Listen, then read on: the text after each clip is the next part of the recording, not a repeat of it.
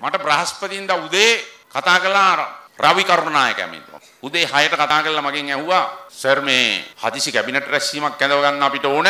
අගමැතිතුමායි අපි ඔක්කොම සාකච්ඡා කළා. අගමැතිතුමා කිව්වා ජනත්තුමාට කියන්න කියලා. ඒක නිසා අද කොහොම හරි කැඳවලා දෙන්න පුළුවන්ද? මං කිව්වා රවි ඔයා කිව්වට හරියන්නේ නැහැ. අගමැති මගෙන් ඉල්ලීම කරන්න ඕනේ. විනාඩි 10ක් 15ක් ගිහිල්ලා රවි කරුණායක ආයි සැරයක් ගත්තා දෙවෙනි සැරේට. සර් අගමැතිතුමා ඔක්කොම කියනවා සර්ට කැබිනට් රැස්වීමක් මං කිව්වා එහෙනම් අගමැතිතුමාට කියන්න මට කතා කරන්න. කියලා කිව්වට දැන් එහෙන් නෑ උත්තරයක්. මම අගමැතිතුමාට කෝල් එකක් ගත්තා.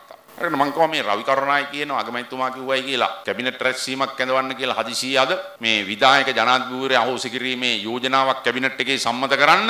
එහෙම අවශ්‍යතාවයක් තියෙනවද ඕනද කැබිනට් රැස්වීමක් කැඳවන්න එතකොට අගමැතිතුමා මට කිව්වා ඔව් ඔව් අපි සාකච්ඡා කළා කතා කළා. TNA JVP අපේ පක්ෂ ඔක්කොම කැමති. දැනුත් කාලය ඇති. ඒක නිසා ජනතුමා අද හවස 2යි 4යි 4 අපිට කැඳවලා දෙන්න කියලා කිව්වා. මම 3ට වෙලාව දාලා විශේෂ කැබිනට් මණ්ඩල රැස්වීම තිබ්බා. හැබැයි දවල් 12 විතර වෙනකොට රනිල් වික්‍රමසිංහ අගමැතිතුමාගෙන් කැබිනට් සංදේශය කැබිනට් ලේකම්ට ගියා රනිල් වික්‍රමසිංහ මහත්තයා අස්සම් කරපු විධායක ජනාධිපතිවරයා අහෝසි කිරීමේ යෝජනාව කැබිනට් එකට ඉදිරිපත් කරන එක. කැබිනට් ලේකම් මට කතා කරලා කිව්වා අගමැතිතුමාගෙන් ඇවිල්ලා තියෙනවා කැබිනට් පත්‍රිකාවක් විධායක ජනාධිපතිවරයා අහෝසි කිරීම සම්බන්ධයෙන් සිංහල ඉංග්‍රීසි දෙකක් තියෙනවා සිංහල එකේ අස්සම් කරලා නැහැ ඉංග්‍රීසි එකේ විතරක් අස්සම් කරලා දෙනවා. මං කිව්වා රයිට් එහෙනම් ඒ ඇති ඕක දාන්න කියලා. දැන් අපි තුනට වාඩි වුණා කැබිනට් මණ්ඩලයට. වාඩි වෙනකොටම අගමැතිතුමා කැබිනට් ලේකම් ගාවට ගිහිල්ලා මට ඇහෙනවා කියනවා අර මං එවපු කැබිනට් පත්‍රිකාව දාන්න එපා. ඒක දාන්න එපා. ඒක මෙතන දාන්න එපා. ඒක තියාගන්න. මම ඇහුන්නේ වගේ හිටියා. ඊට පස්සේ දැන් කැබිනට් රැස්වීම පටන් ගත්තා. මං කිව්වා මේ මගෙන් ඉල්ලීමක් කළා විශේෂ කැබිනට් රැස්වීමක් කැඳවන්න කියලා. ඔව් දැන් ඉතින් කැඳෙව්වා. දැන් ඉතින් මොකන්ද කාරණේ ඔබතුමාලා කියන්නේ? ඒතකොට ඉතින් අගමැතිතුමා පටන් ගත්තා. මේමයි ඉතින් මේ විධායක ජනාධිපති අහෝසි කරන්න ඕනේ. මේක ජනාධිපතිතුමත් දුන්න පොරොන්දුවක්. ඉතින් මං කිව්වා ඉතින් මගේ ප්‍රශ්නයක් නැහැ. ඉතින් මං හැමදාම මේක කියනවනේ අහෝසි කරන්න ඕනේ කියලා. තමුන්නාන්සලා පාර්ලිමේන්තුවේ කෙරුවේ නැත්තේ.